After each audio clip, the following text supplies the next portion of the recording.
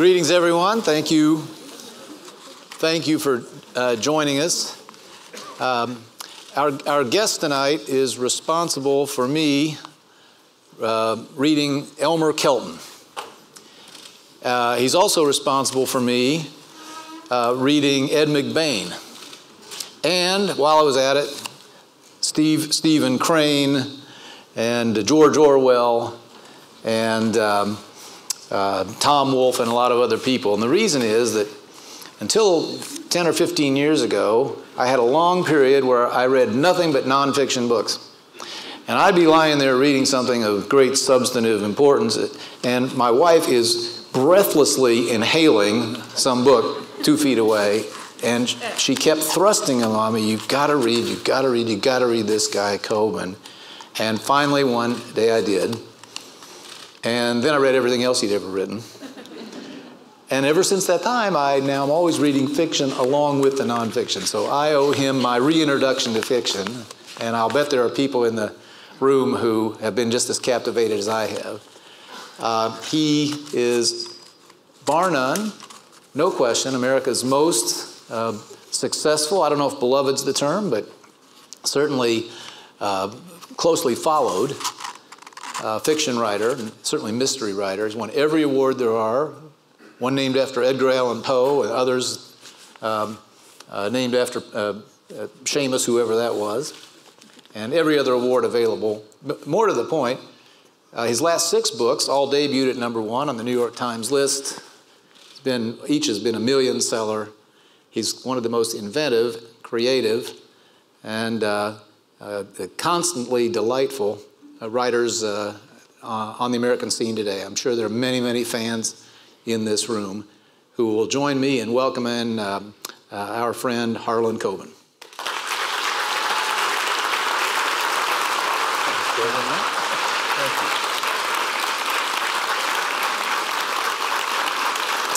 Well, we learned one thing quickly. Your wife's the smart one in the family. Yeah, yeah, yeah no, that's right. Not the only one who can say that. That's right. Well, we'll get to that later. So we, uh, uh, uh, the format will be, uh, as has often been the case, uh, I'll ask the first few questions, which is to allow you time to think through your own and summon your own courage. And we have microphones, I think. They'll be available. So starting in just a, a, couple minutes, I hope the, the bolder the, among you will, will come forward and line up, and we'll, we'll get to your questions as soon as we can.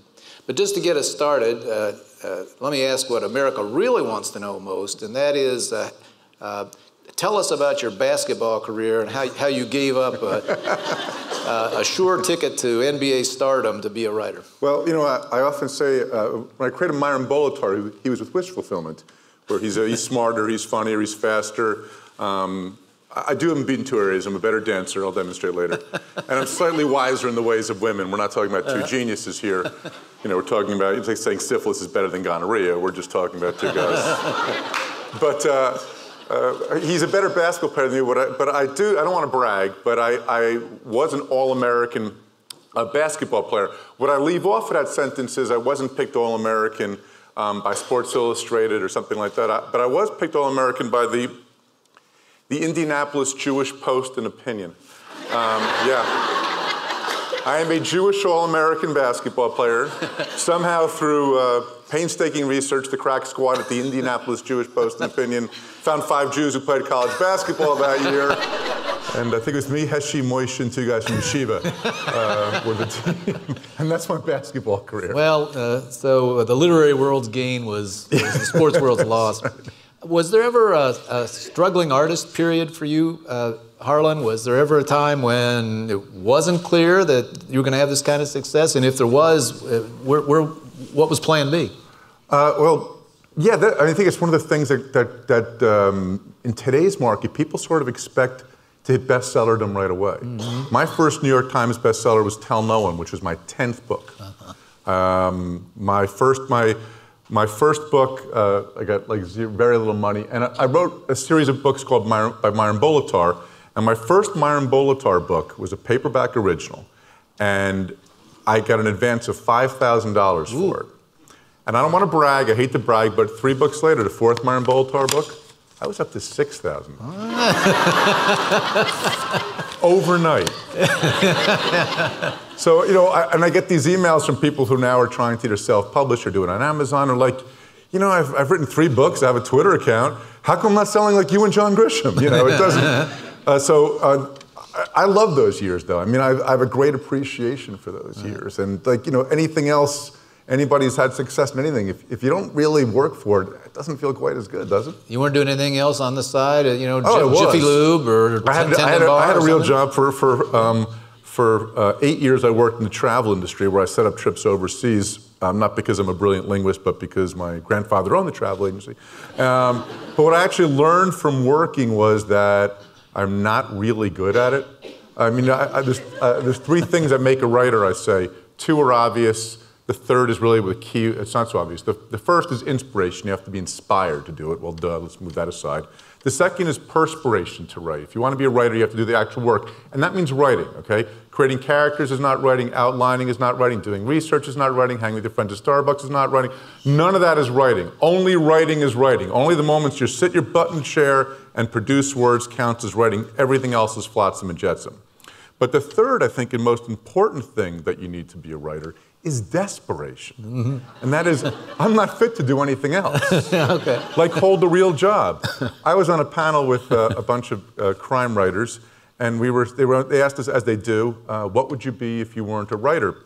And one of my friends said a US Senator. I'm like, oh, please. I'd be a duvet cover. This is it. this is all I got, you know? So, I, so I'm disorganized, I'm forgetful. You know, I mean, look how I dressed today. It's nothing. Nothing works for me. So this is all I can do. So I told Harlan uh, in advance that uh, I, sh- I, knew there must be a lot of questions that he was absolutely uh, weary of answering, and I would be happy to omit those. He said, "No, go with anything." So here yeah, they come. Go ahead, man. So I think people would like to hear about what is your mo. How, how do you work at this? I mean, what's what's what's the routine? And and a question I, as part of that of these unbelievably uh, tangled and inventive plots. Do you map them all out to the end before you start, or as occasionally I'll read somebody who claims that they sort of let the uh, plot take them along? Which are you? Well, uh, on that note, uh, well, there's a, there's a, that's a big question, so let me try to. The first part is the idea. I say it takes nine months to write a book. It's like childbirth. The best part's the idea. that guy didn't get it. Can someone explain it to me? um, so let me start with how I, how I come up with ideas. And it's not a pretty process, but I'm going to really try to let you inside the brain. Normally, it's from something in my real life, and I constantly ask, what if?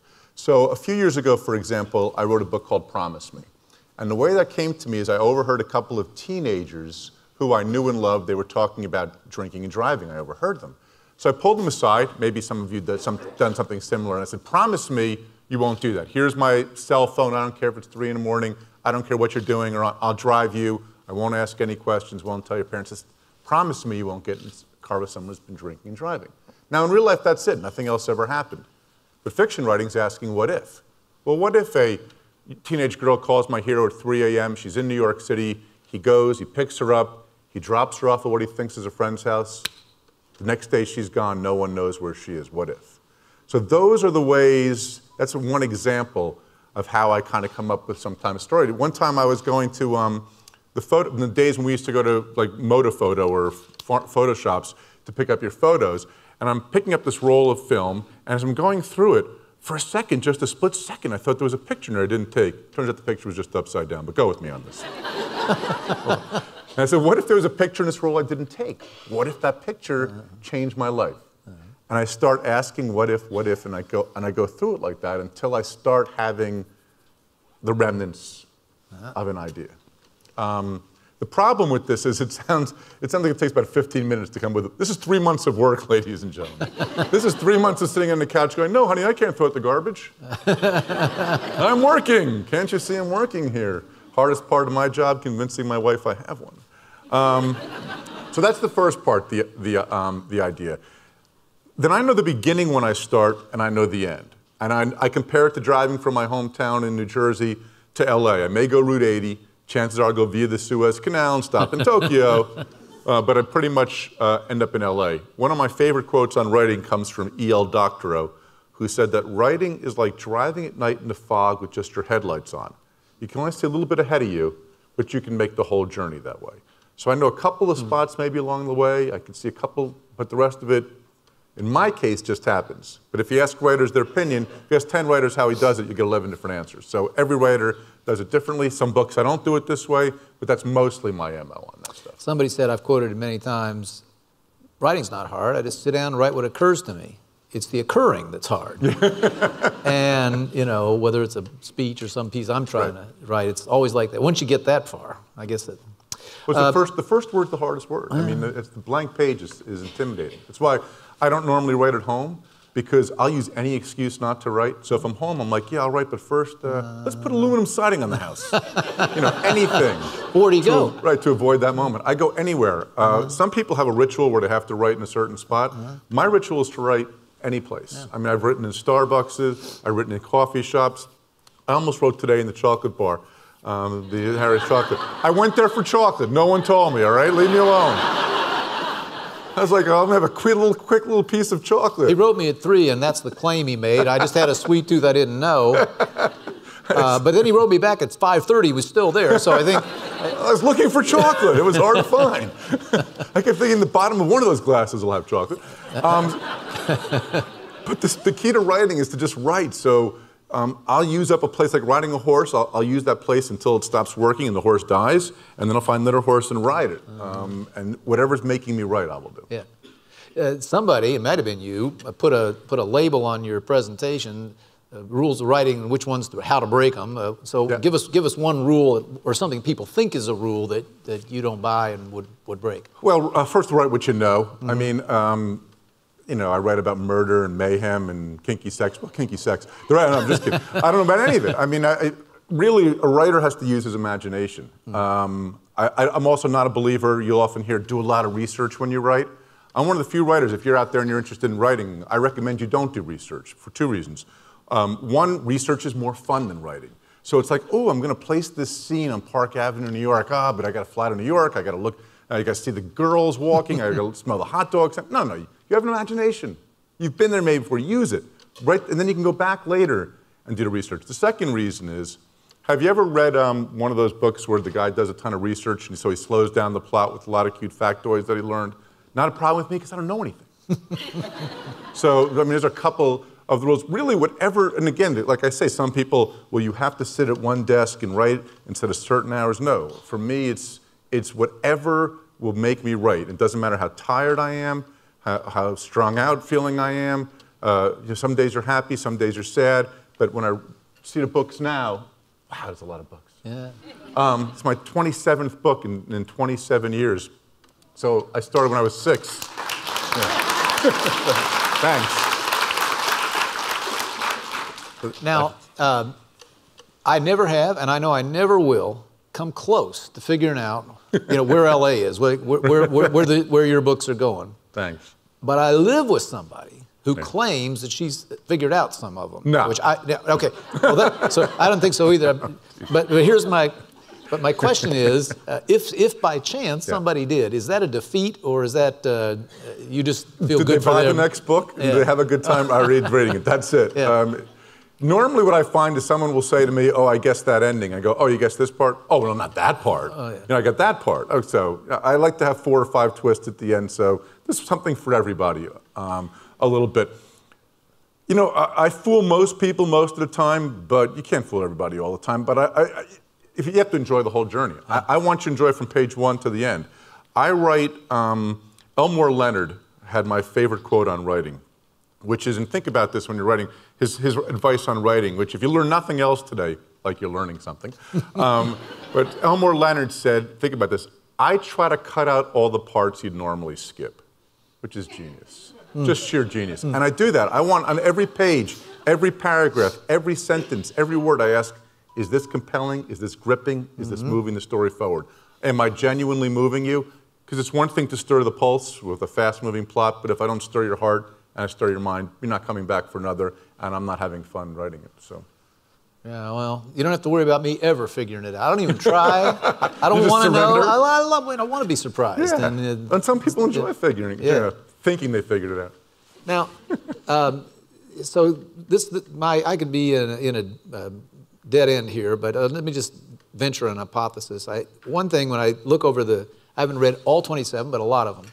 Um, but to me, there's a couple patterns. Uh, bad guys lose. They get what they deserve. There aren't these dark black endings that, you know. Um, uh, there's an affection for small towns, suburbs, you know, the kind that a lot of literary figures love to dump on. And your characters love their families. Sometimes it gets them into trouble or tragedy or something, but you know, parents really love their children parent and children. Imagine this, love their parents. And um, are you like a Midwesterner uh, in disguise? I mean, uh, am I misreading you or this? Well, first of all, don't read the new book then. I don't want to okay. crush your spirits because every time I, every time I, am accused of being something, I, I almost yeah. intentionally write something that's the opposite. Yeah. So the, this new book has a pretty dark ending, and I really piss all over suburbia. But um, normally, nor, normally you're right. When, when, I when I actually first created Myron Bolitar, to not get too corny on you, but I gave Myron, Myron and I were fairly similar as I mentioned, but I gave him something I always wanted, and I get and he get, he has something I always wanted, and I have something he always wanted. Myron's dream in life is to get married, move to the burbs, and have kids. So I can't give him that. On the other hand, my parents died fairly young. And Myron has this wonderful, warm, loving relationship with his parents that I have a tendency to overwrite and get sentimental on. Tough, cut him if you don't like him. It's cheaper than therapy. Um, but part of that was also, I had not seen that really done in fiction. It's always like, you know, the father was abusive and the mother put out her cigarettes on the guy, you know. So I thought it'd be interesting to sort of represent more what I know, which is a loving relationship. And also, when you're trying to write about what people want, if I were to ask everybody here, would you kill somebody? The answer was no well, maybe not this guy. but if I asked you, would you kill someone to, would you kill someone who's trying to kill your kid or to save your child's life? Now the answer is yes. So where is that line? There's one, there's one. Where in the middle, if I bring it closer and closer on both sides, that's where I want to be. We all get that emotion. It's a universal emotion. And it's easy to be cynical, but it's more fun to be realistic. So just to remind, it's uh, like to see somebody advancing on the mics here soon because I'm sure there are better questions in the uh, uh, in the audience than I'm going to uh, I'm going to have. So I'll, I'll just do one or two more while you while you uh, get your courage up. um, 27, I guess you said. Yep. Uh, get easier as you go or harder? Is the, which is which which took longer, the first one or the next one? I, I think probably about the same, but maybe a little harder. Mm-hmm. Um, I keep waiting to figure out how to do it so it'll be easier. I keep thinking it's going to be easier. It's always, well, and, and insecurity is a great part of what, we, what I do. So I'll be writing the book and I'll go, oh my God, I lost it. I was so good before. what happened to me? When did I lose it? And five minutes later, this is sheer genius. Someone's going to read that book that's already out there, not give this work of Shakespearean proportions. and that goes on all the time. And also, I, I, think one of the things I kind of conclude a little bit like, if you can imagine a giant grass field, okay? So the first time you're writing your book, you're slashing through the field to try to get to the other side, but you have no idea how long it is, you have no idea where you're going, you're getting misdirection, but you can just keep slashing. And you finally reach the end. Now you go back to the start. You have to do it again, but you can't hit where you've already slashed. So you start again. You've learned a little bit, so maybe it's faster that way, but you can't go in place the way you went before. Now you come back again. And it just keeps going, which is why, as a writer, also, you need new experiences in your life to get more grass growing. Mm-hmm.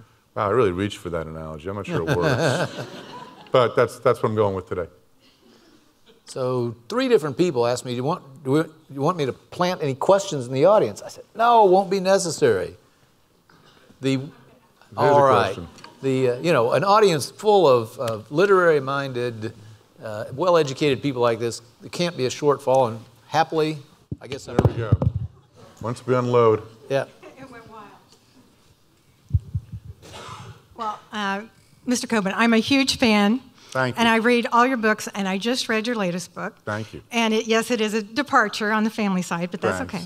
But I noticed that um, you quoted some academic research. Yep. And is that no, are you using are you reading academic journals for your research, or how did that come It was about? probably stumbled across but in a Twitter feed. No, I don't know. Uh, it was a fascinating. The, the, the article you're probably talking about was by Toby, uh, Toby uh, Moskowitz, who's a professor at the University of Chicago.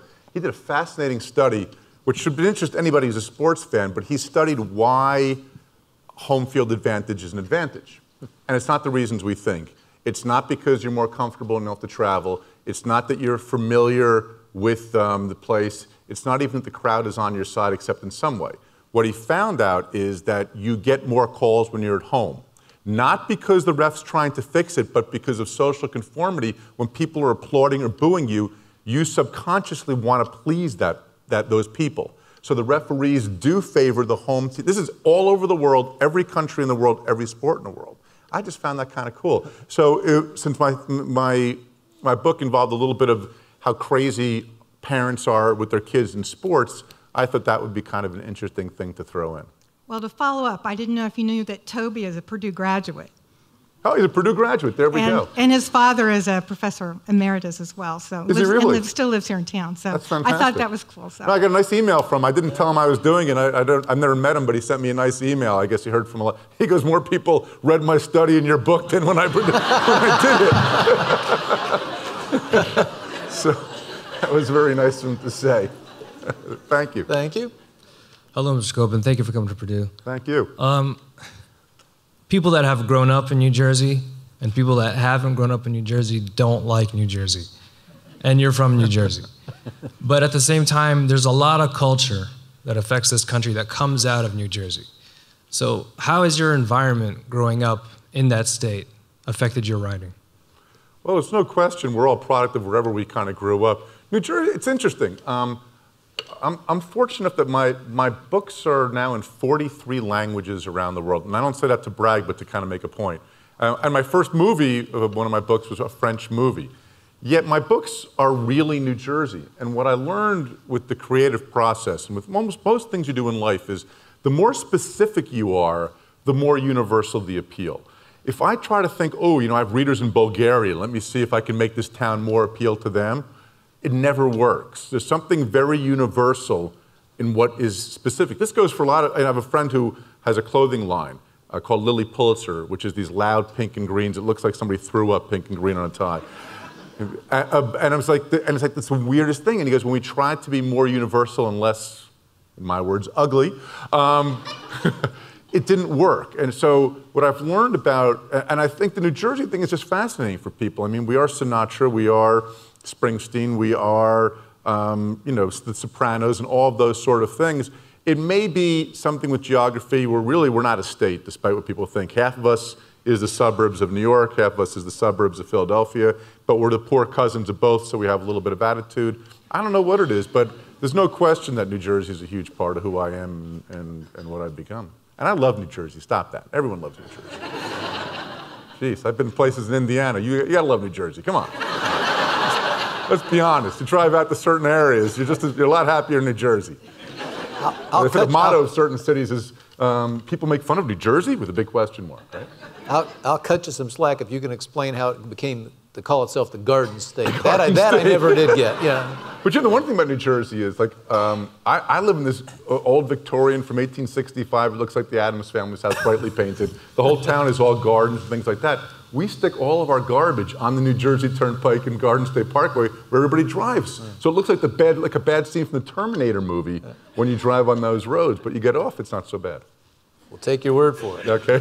So, oh, Sabrina, hello. Hi. Welcome. Hi, and I'm from Delaware, so I'm not sure I agree with you on the loving New Jersey part. but I do have a question. Earlier, you were talking a little bit about um, one of the characters in your novels, and I was wondering if you could just explain. It sounded like you had a pretty kind of personal relationship with that character.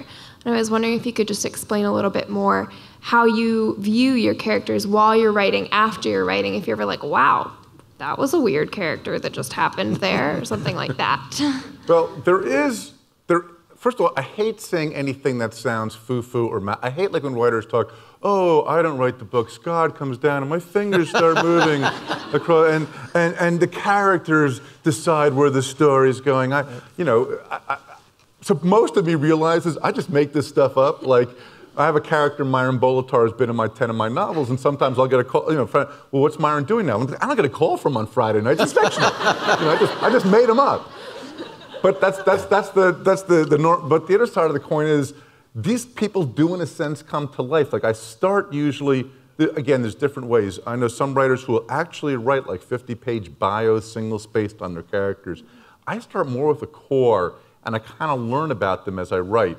And I try to develop character not so much by telling you, you know, in 1865 this happened to them or whatever, but by how they react. And so I, everything that happens to it, I sort of say, how is this person reacting? And a few pages in, that person's reacting just naturally without thought. The most important thing I think about a character is not necessarily being nice or likable, but real. And I do say, it's not, and this is not necessarily likable, is would you want to go to Harry's and have a beer with that person, right? That doesn't mean they're nice or likable. That could be boring as all outdoors. But would you want to spend an evening sitting there talking to that person and listening to what their life is about? And sometimes that could be really an evil person, frankly. And that's, that's sort of the gauge I try to do when I'm creating a character. I want, every, I want even the smallest character to have a reason for what they're doing. For those who just read The Stranger, even the worst bad guy you have to understand their motives. Otherwise, I don't like monsters. I have no interest in psychos. I have no interest in serial killers. Every person has to have a reason, and a reason where you can almost say, I could almost see myself doing that. Thanks. Thank in that gray zone you were talking about in between. Is more, is, you know, it's like, it's like a, a foul line at a, at a, at a, football, at a baseball field, right? Mm-hmm. It's made of lime fair and foul are very, very close to one another. And if you can mess that up a little bit, trample on it, now fair becomes foul and foul becomes yeah, fair. That's, that's where you want to play. That's where you want to play. Yes, sir. Hi. Hi. Um, I, I, love the Bolitar series, and I've Thank you. read almost all of them. But I, I end up feeling kind of guilty and wonder about myself because my favorite character is Win and and it's sort of like, like liking Francis Underwood on House of Cards or Walter White, but there, he's he's close to a psychopath. Yeah, and, is, no, and, but I really in, enjoy the parts about Win more than everything. What, what's wrong with me?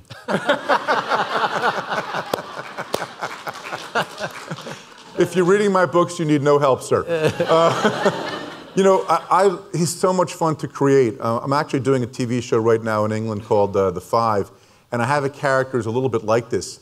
And the network keeps saying, "Oh my God, he can't do that." I'm like, "Yes, he can." The more he's, the more sometimes violent or things he'll do bad. This is my job as a writer. I want you to love the guy who's doing bad, and that's a real challenge and real and really fun. And there's a part of us that loves that. That's the thing. Win has easy answers in life. For Win, it's all black and white. You cross a certain mm-hmm. line, you're dead to him.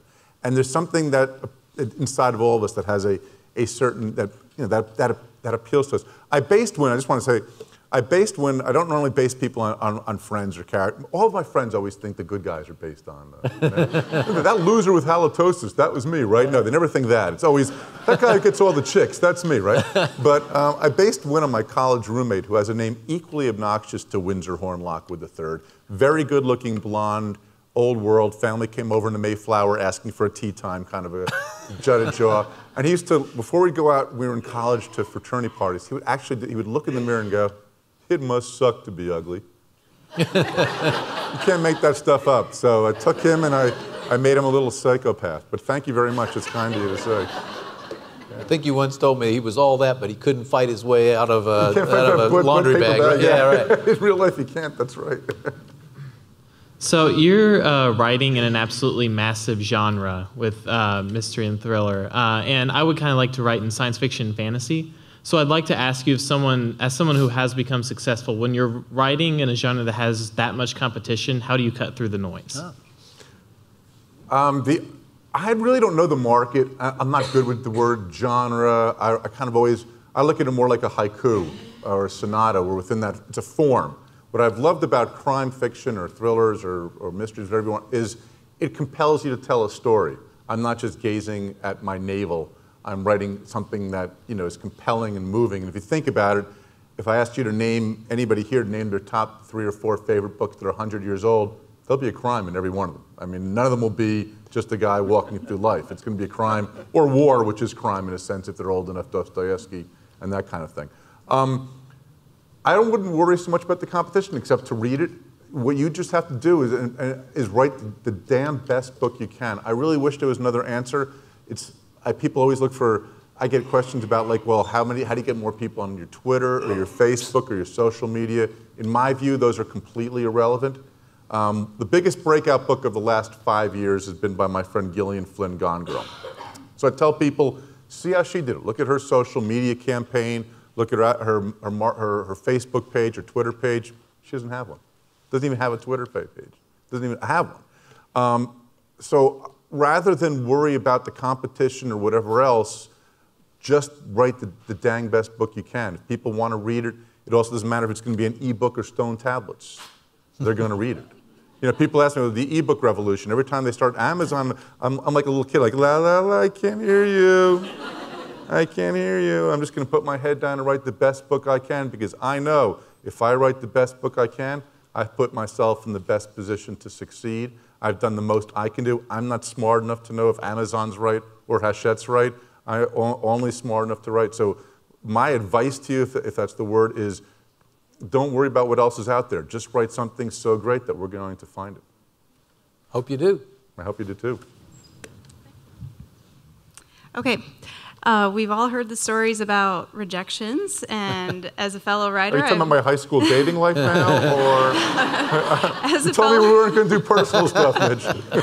yes, as a fellow writer, I lived that life as well. Yep. So we would all, I'm sure many of us would be curious if you're willing to share before you kind of broke in. How many, how many rejections have you well, kept track? I, I was lucky that I got published right away, but by a very, very small house. I was 26, um, so I've been published for a while, but you face rejection as a writer all the time. I still get reviews, I still get, you know, uh, all sorts of weird kind of rejection sort of thing. Not the publishing ones anymore, uh, but movie ones, or this is going to happen, that's going to happen you know, it's why, you, by the way, in today's world, do not read your Amazon reviews or anything else. You'll just lose your mind completely.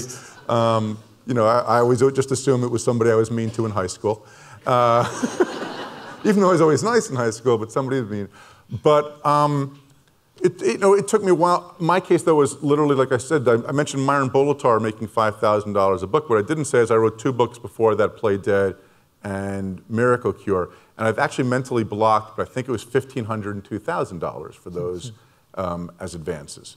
So I, I, try to appreciate each step that I have, but yeah, I mean, I, when I tried to move up from that level, which was two books, and then I realized I couldn't stay in that particular ghetto, I had to move to a, a bigger ghetto, so to speak. It took, I, I, had five years of rejections.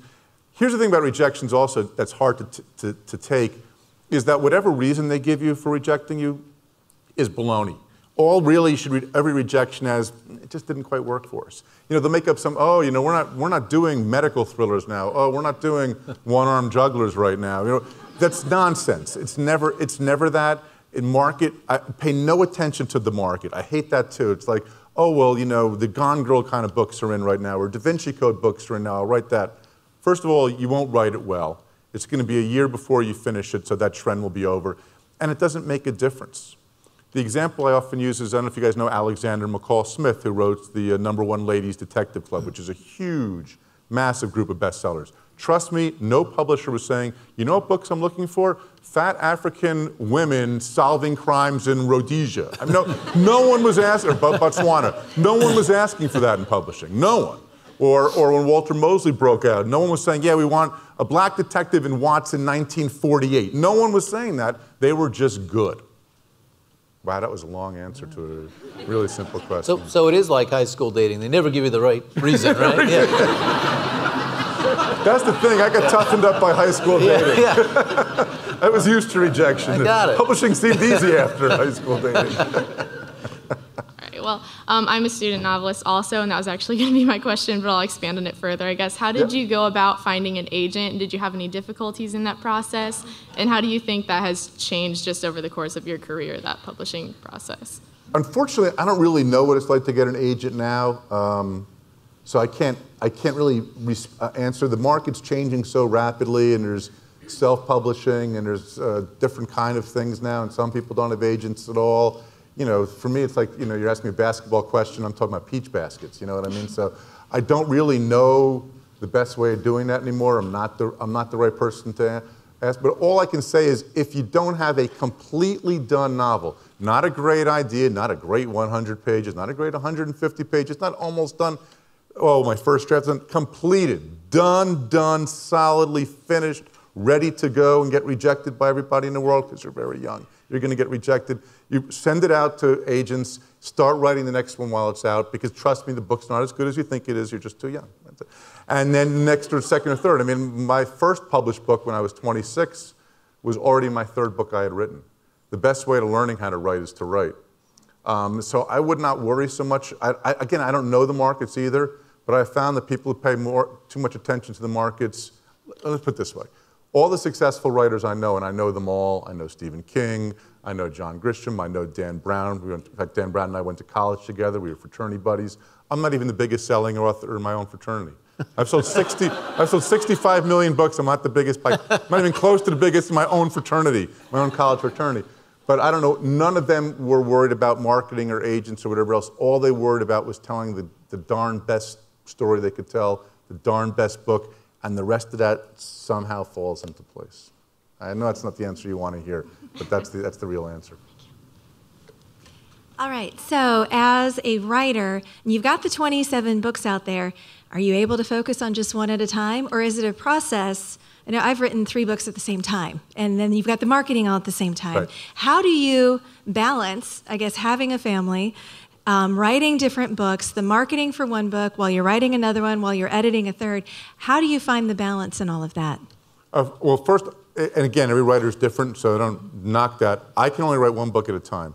I'm like a boxer in the ring, in ring, and by the end, the 15th round, I can barely lift my arms. I get, I'm almost getting knocked out. I finish the book. I have nothing left. I can't even, I can't move for like three. Literally, when I finish a book, I write 40 pages usually the last day. I can't move for like a week. I have, I've grown a playoff, NHL playoff beard. You know, my kids have thrown bananas in my room and ran away. You know, there's just not, there's nothing left. I can, I can only do one at a time and market one at a time. The, the, the real answer, the way I like to think of it is, it's my job. So it's like asking anybody in this room, well, how do you, you know, how do you fix pipes when you have a family at home? How do you, this is my job. I have to do my job. I can't be above my job. So yeah, of course I have family at home. I have other obligations, just as everyone in this room has a job and they have to do it, they have to do it and still control their family and balance the rest of their life. So even if it's an artistic process or not, that we can decide if it's art or not, but you have to treat it like a job. And every great writer I know, or writer produces treats it like a job. There's a great quote that says, Amateurs wait for inspiration to arrive, the rest of us just get to work. Mm. And that was, I actually read that quote, it wasn't by him, but in the Philip Roth book, who's about as literary a writer as you get. You have, so it's the same way a plumber can't one day wake up and say, I can't do pipes today, I'm, I'm a little too important. Uh, I have to watch. The same thing with the writer. So yeah, you just have to figure out the balance. And, and here's the thing: if you and this is the, my my being tough on you thing is, if you can't find that balance, if you don't have enough time to write, you're not meant to be a writer. Mary Higgins Clark, one of the dearest women I know, at the age of 37, Mary had five young children, and her husband died. The next day, her mother-in-law died. Mm. Mary is Mary's now 86, so this is over 50 years. We're talking about 50 years ago. Okay, she was left with no money. She had to work a full-time job. She used to get the and get five kids ready, and no help back in those days, as you know. So Mary would wake up and write between 5 a.m. and 7 a.m. before the kids did. You can always find time to write. Don't tell me you can't find time to write because that's an excuse. And much like, oh, this, this isn't weight gain, it's water retention. we have to one day face up. The great 20th century philosopher Cher said, Cher once said, excuses won't lift your butt. It's the same thing with writing. I accept no excuses for myself. And that's, that's, I tell this, what I'm telling you now is what I, I kick myself because I feel the same ways. Oh my God, I'm overwhelmed. I'm like, toughen up. This is, not only is it a job, it's the greatest job in the world. I mean, uh, I'm not going to fool you. People ask, well, another panel I was on asked, uh, what, uh, what, what's bad about being a best-selling author? Said, nothing. nothing. What's bad about being a, nothing? It's awesome. So, Thank you. Thank we you. have an empty mic over here that's calling out for somebody maybe from this hemisphere. So, yes, go ahead, please. How much time is spent rewriting? A lot. I don't write like, um, I don't write like this. I write like this. Each day I go back and I reread what I wrote the day before to get a running start. And then every 75 pages, 50, 75 pages, I go back to the beginning and I reread. So by the time my book is done, um, the first chapter has been rewritten at least 10 times. And I write better at the end, but I, I'm a big believer in rewriting. And this is, this is very freeing too. Am I, I, am I allowed to say? A, well, let's Yeah. Um, a great, one of the best books on writing, if you want a really great book, it's also funny on writing, is by Anne Lamott called Bird by Bird. And she describes it, uh, she has a chapter called The Shitty First Draft. And what it does is it gives you permission, which is so true, to stink your first draft. So the difference sometimes, writer, people are paralyzed. If you're a writer out there who's like kind of afraid to start because it's not, you think, oh, it stinks, it stinks. Remember, I do too, 27 books, still thinks it stinks every day. But the first draft, I look at it like it's like diamond mining. So you take out this big, ugly rock, but that's what's really valuable. And the rewriting is, which takes a long time, is what makes it into something shiny and beautiful that you want to wear. But you need to, some people are looking for that beautiful stone in the dirt already that's going to be right on your finger, and that doesn't exist. You got to pull that thing out. Don't worry if it stinks. I got to turn that part of my brain off that says this stinks, not worry about it. Some days, as I said, I write and I'm like, oh my God, this is, every, it's so terrible. Every word is a case of mental constipation that could kill a horse. It's just, and then some days, there's like an angelic voice singing in my ear, not often. Mm. Some days, and when I look at the books now, I can't tell you what I wrote on what pages, because when you rewrite, they all become the same. You can always, you can, one great quote, you can always fix bad pages, you can't fix no pages. I rewrite a tremendous amount. I'm a firm believer. Every writer I know rewrites, except that one guy, but none of us want to hang out with him in the bar. Thanks for the question. Good Yes, question. All these questions are great, by the way. I thought you might talk uh, for a moment about the uh, Tell No One experience. Uh, the uh, it has a reputation uh, on its own, of course, and uh, I'd like to hear the background. I think you're even briefly in the film for. I am in the movie. Yeah. I thought you might movie, talk about that for a few. For those who don't know, Tell No One was a, a French, it's actually considered a, a, and I don't take credit for this, a, a classic. Uh, it's on, by the way, if you have Netflix or Amazon Prime, it's on it for free. It does have subtitles. It's a French movie called Tell No One, um, based on my book. Uh, it was nominated for nine Césars, which is their version of the Oscar. Um, it won four of them. I'm in it. Uh, I'm in it for about eight seconds. I'm in the background. I don't say anything. But I was brilliant, really. I, I kind of steal the movie. And uh, I wasn't nominated for uh, a César for Best Supporting Actor. I assume the French still have anti Semitism issues. It's the only, the only explanation for it. Um, but it was a wonderful experience from beginning to end. Such a wonderful experience. I just did a, uh, a six hour TV show I just finished filming. Um, and I got to have a real part. I got to play Dana Delany from Desperate Housewives' husband. Um, she demanded I write sex scenes. I said, no, married, leave me alone. But this is why I write fiction, people. Um, so uh, it, it was a great experience. Um, uh, the, the book itself, if I could, this is a, for people who, you know, I explained before about how I come up with ideas. And the example I actually often use is tell no one because, you know, the ones I gave you were, were really kind of like neat, like, okay, he thinks this happens in his life and he thinks what if, but mostly it's kind of like your, your brain is jumping around. Like, have you ever had one of those nights you can't fall asleep, right? And you're, you're lying in bed and, you're, and because you can't fall asleep because you're thinking of something like inane, like, what was the name of the dog on Petticoat Junction?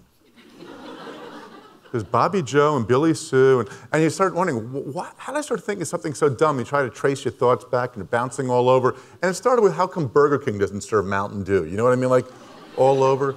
So the idea for Tell No One came to me. I was, um, would mean anything to stimulate an idea. I was watching a really um, bad uh, movie on TV. I won't mention the name of the movie, Message in a Bottle. And uh,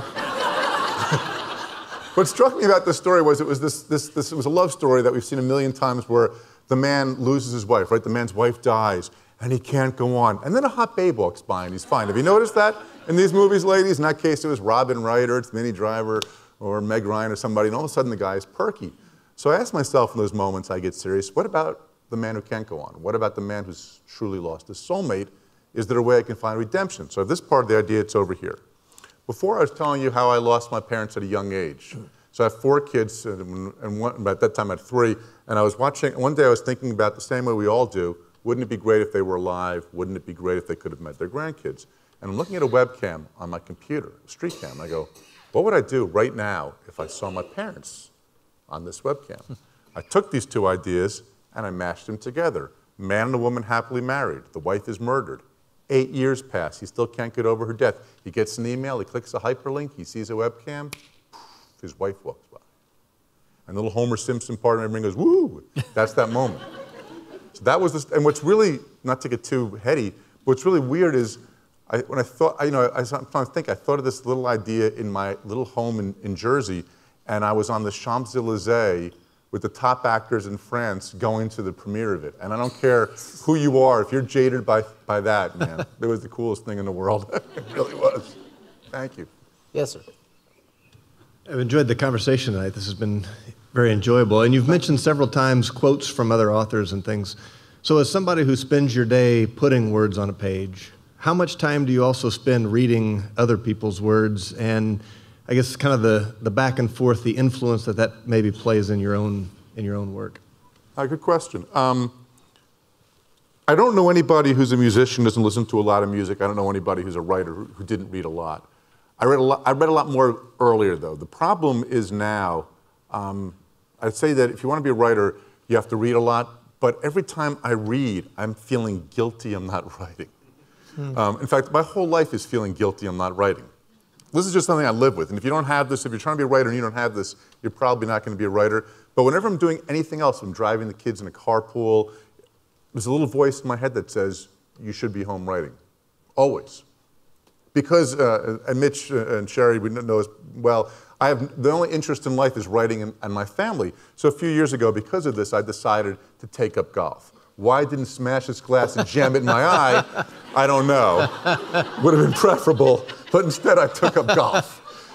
And, but even when I'm out there and it's a beautiful day and I'm hitting the ball, there's still that voice that's always saying, you should be home writing. Usually it's a guy I almost did with my Aaron tee shot yeah. on the wrong fairway. Yeah. But every once in a while it is. Uh, so that just always sort of plays in, in, into my head. So yeah, you have to read, but I read less now than I used to. I, I, still love to read. I'll read the back of a cereal box if it's available to me. I'll read menus. I, I have to be reading. Um, one of my favorite quotes, again, this one from Thomas Jefferson. I don't know if you know this story, and many of you probably do. The Library of Congress was founded, it was burnt down, and Jefferson sold all of his books to, to make the Library of Congress exist. Notice he didn't donate them. Mm. Jefferson sold them for a lot of money. And, if, and he said, because I'm old, I don't need books anymore. And he started buying books back, and he wrote a letter to John Adams, where he famously said, I cannot live without books, which is the motto of the Library of Congress today. Fun historical facts with Harlan Coben. Thanks. Who are you reading in, we won't call it a genre, Right. Who, who, are you reading in the, in the general space that you were occupy that, the, the, that you like? You know, first of all, I read a lot of book people that you don't know because I, I, I get advanced copies. Um, there's a young, uh, and I, won't, I really don't want to name the obvious people like, like Lee Child and, and, and Michael Connelly. And the problem with this question is they're all my friends. And I leave someone out and one of you will tweet it and I'll get in trouble. Um, but Tana French is a, is a new young writer. Well, she's not that new anymore, but uh, a wonderful uh, woman from Ireland who, who really writes uh, interesting books that uh, I like to tell people who, who are looking for somebody new in the crime field to, to try out. She's really good, Tana French. This may be a bit loaded, but uh, to what extent do you attribute your education to your success or your ability as a writer?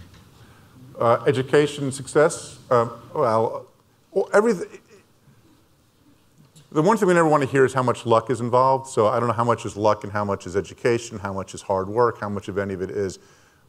I went to Amherst College in Massachusetts, which is a small liberal arts school, um, wonderful school. And while I was there, for some reason, there was a lot of writers. There's only 400 kids a grade. As I mentioned, Dan Brown was there. Uh, David Foster Wallace lived next door to me um, freshman year.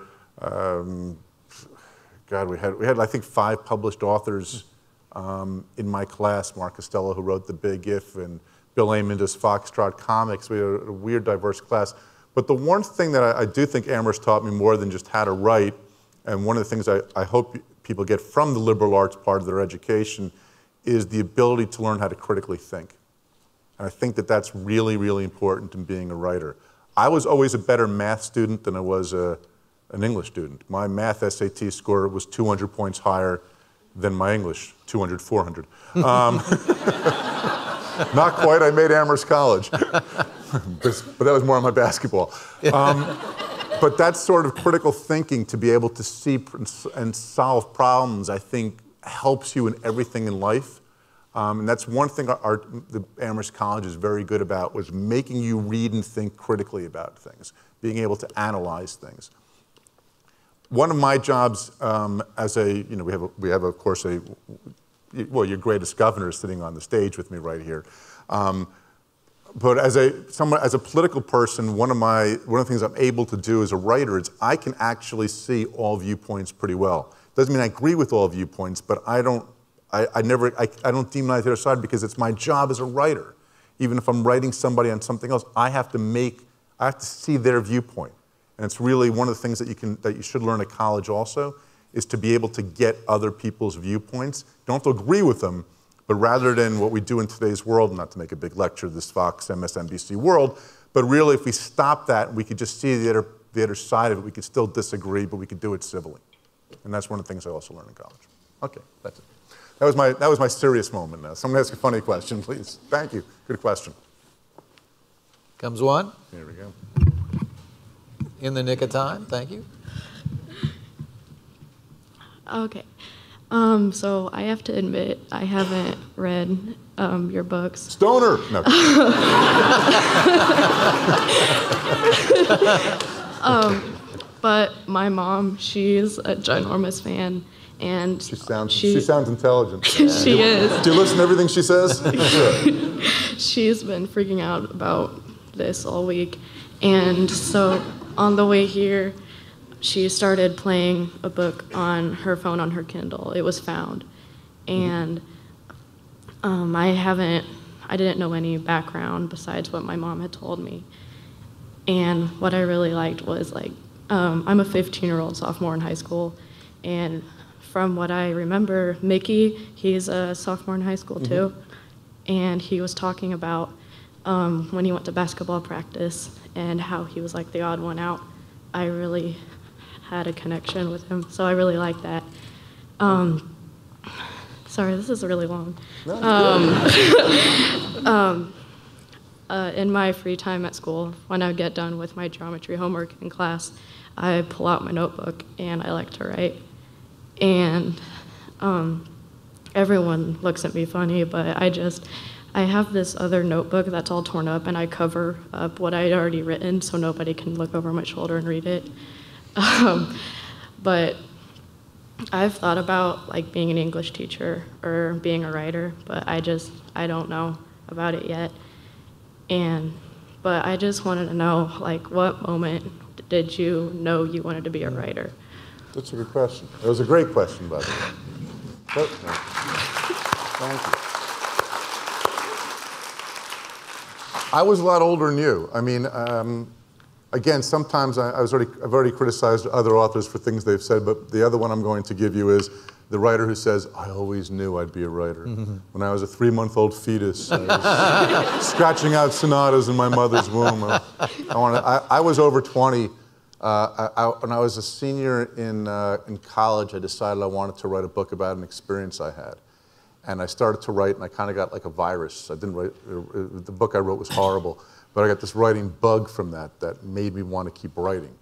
And what I would suggest for you is to keep writing. Don't write over it though, because we want to know what you thought. You're gonna want you're gonna want to look at the years from now and hate it. That's part of it, okay? Mm-hmm. You're gonna look at these things in these notebooks years from now and hate them, but it's like building a step to something much higher up. You still need those bottom steps. You really do. So, like, even I look back at my old books, and I can't read my old books because I cringe.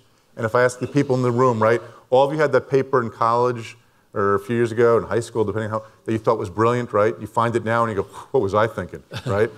That's what you can do with your thing, but just keep writing. I'm telling you, just, even if it's a dumb thought, there's no judgment in your notebook. This is the beauty of writing.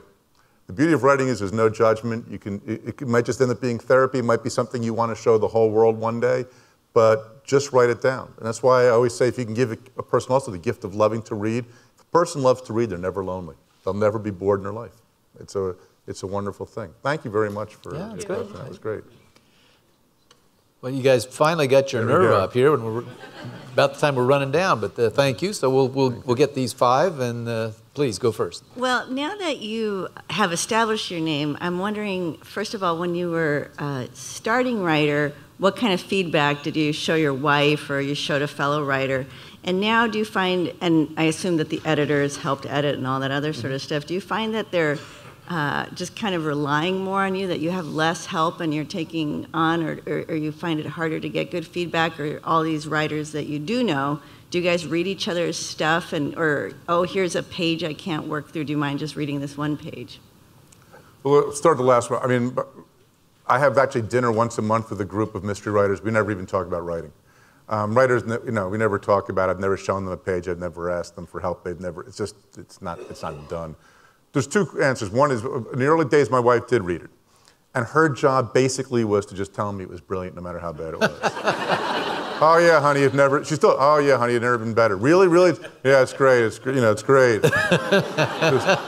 Because I was paralyzed. I'd be paralyzed by. I, she would like to write. You know what? You have a typo here. You wrote the word the twice. Oh, it stinks, doesn't it? The whole thing. I'll just throw it out right now. So in those days, that's what. That's sort of what I needed.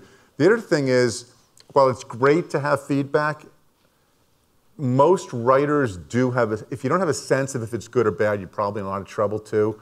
I'm usually my, my toughest editor. No one hates the book as much as I do when we're first editing it.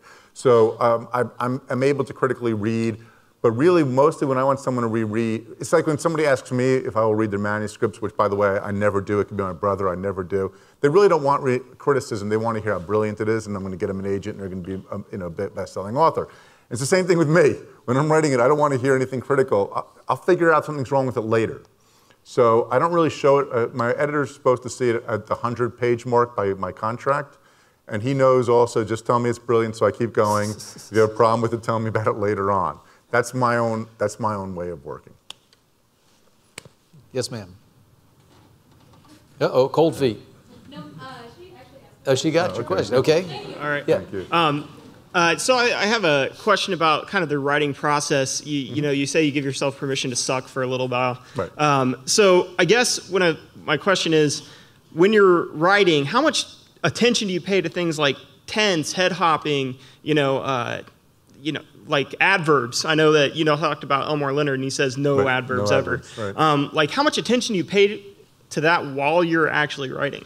Not much. Uh, I'm telling the story. The first time I'm writing, I'm telling the story. I also, a lot of times, will do my first drafts on paper, um, like 10 pages at a time on paper, and then put it on a computer. The reason I, I don't always do this, I'll do whatever's going to work, but the reason I like doing that and I recommend it is that if, first of all, there's something freeing and childlike about hand and paper. Crossing out is easier than deleting because when you cross out, you can still still sort of exists versus deleting on a computer. I draw arrows, I, I can do pictures, and I don't count them as done pages till they're on the computer. So this way, my first draft is actually my second draft already. So that's hmm. one of the, the, the different techniques I do.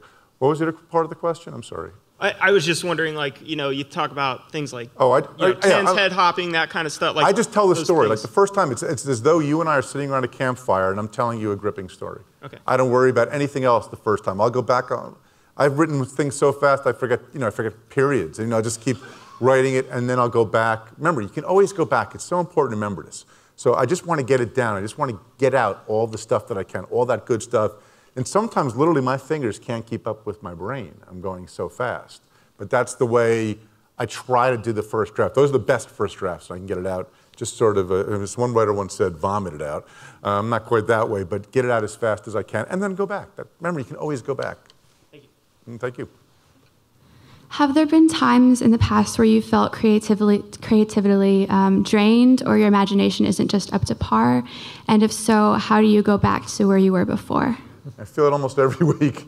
I mean, literally, that's just part of my life. As I said before, I mean, that insecurity thing, it never goes away. And when it, I finish a book, I have no ideas left. Uh, There's a little, when I finish a book, the voice in my brain goes, That's it, you're done. Thank you for playing, you're a writer. We'll take home the home version of the game. You're going to get a job now someplace else and have to really work. And that just is part of the process. And one of the things I like to do sometimes is I'll even go to like art museums or just do things to fill up my brain again. Just do things and stimulate. And my, this is how my brain works. My brain kind of never shuts off. So I'm always looking at everything. How can I make this into something else? How can I make this into a story? How can I look at this person and turn them into what is their life really like? I'll make up, as I'm looking at your faces, I will actually make up whole backstories for you. Things that happened to you in your child, you know, that's just how, and I like my mind working that way. If, so I'm like, not, you know, the Daniels have had dinner with me and they'll probably notice sometimes I'm rude. I get distracted. I look away. My, they, you know, they're friends, so they know uh, Harlan's in La La Land. Or, so, but I, my, my friends kind of know this about me. Thank you. Yes, sir.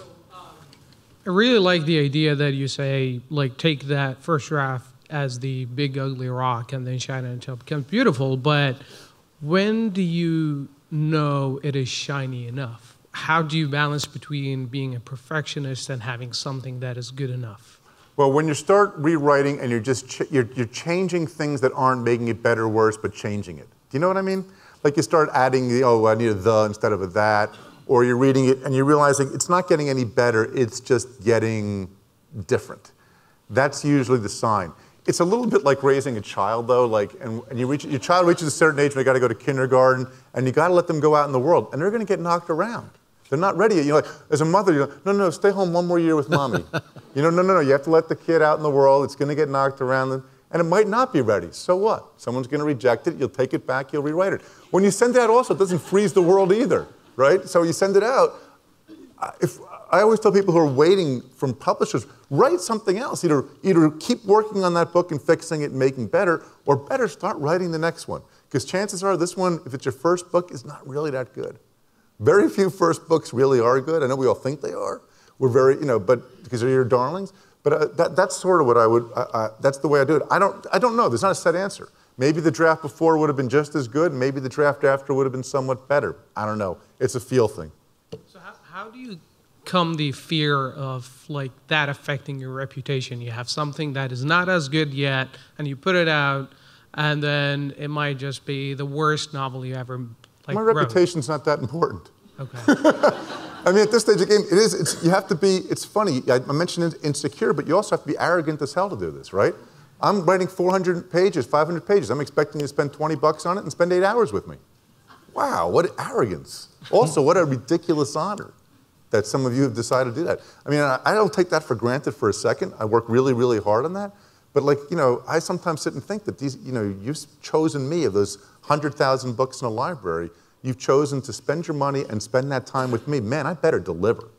Or I'm going to, you know, that's, it's really the most flattering thing someone can do, but I don't know. I mean, the answer is, uh, you know, you have to take a risk. You know, people are like, oh, I'm afraid if I, if I do this, someone will steal my idea. Well, life's risk, man. I mean, that's, that's, a, that's a fun risk to take, and all of us get hit. You know, we've all learned from our, you know, how you've learned from your failures in life as, as well as just more your successes, right? That's the only thing you learn from. Yeah, exactly. I mean, that's, that's why you're here, right? I mean, this is, you're allowed to make mistakes while you're here, so don't worry about your reputation. You don't have that great a reputation either, sir. Trust me. Neither one of us, neither one of us have reputa- good reputations as it is. So we got two more. Uh, this one first. So uh, I'd like to start off by saying I'm not a writing major, so cool. sorry if anybody else had I wasn't questions. a writing major either. I was a political science major, which is a euphemism for I have no idea what I want to do with my life. no idea. I'm dating a writing major, so hopefully that makes That's, for that's, that's even better. I, so I, I, I married a doctor because my, my, my mother wanted me to go to medical school. It was much easier. I just married one.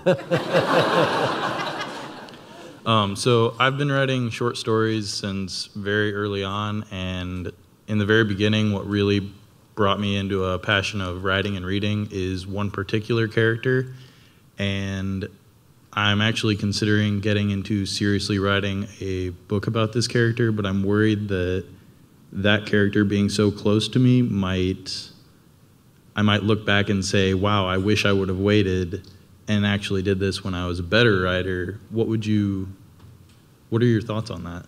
Don't say You, you, you're you're going you're gonna get smarter and stronger and better as you. People, you know, don't save up an idea.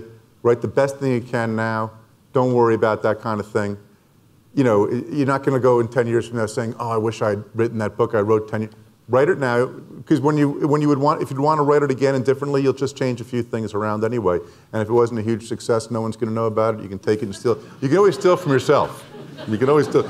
So don't hold back. I mean, I would write the best, whatever you want to write now. Don't think, oh, I better save it or wait till I'm a better writer. Write it now. If you have the greatest idea in the world now and you think, I have the greatest idea, but I want to save it till I'm a better writer, that's nonsense. Write that idea now.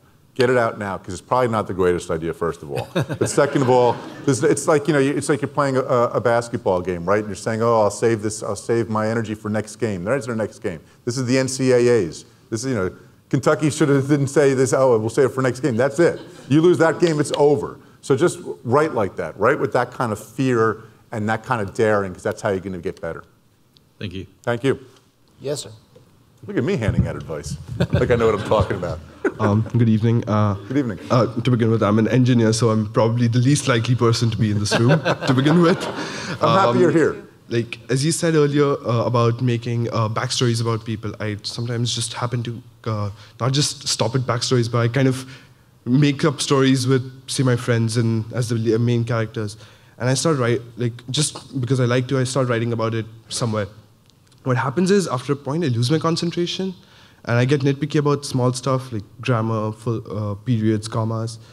And when I get that, I'm, uh, I kind of feel conscious about what I'm writing. I get someone to kind of read it for me, and then I get the negative feedbacks after which I basically fall down. I'm like, okay, I'm giving this up. So uh, what would you suggest if you were in my position? Don't let anybody else read it.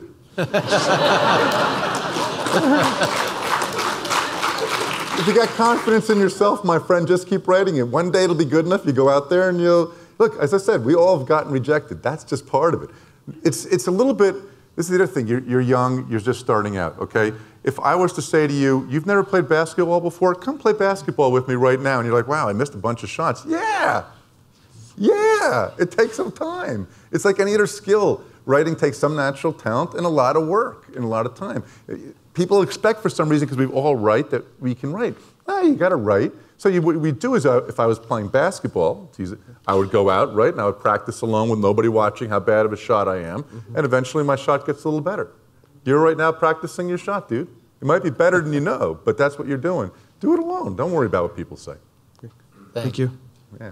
Well, this audience just got an awful lot of advice for free. I think you owe him a little round of applause. For...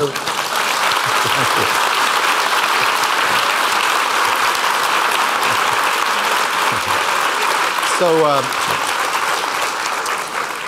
so we always like to have a, memento of some kind for our guests, and of course tonight, no exception. I, I now see we blew it. Uh, I should have gone, gone and got some gold and black shoelaces. For, but I didn't know. But uh, uh, Kathy, please show me who's your best. That's good. Oh, oh, oh, oh, oh. You needed a little. Oh. They didn't teach you the bounce pass in junior high, huh?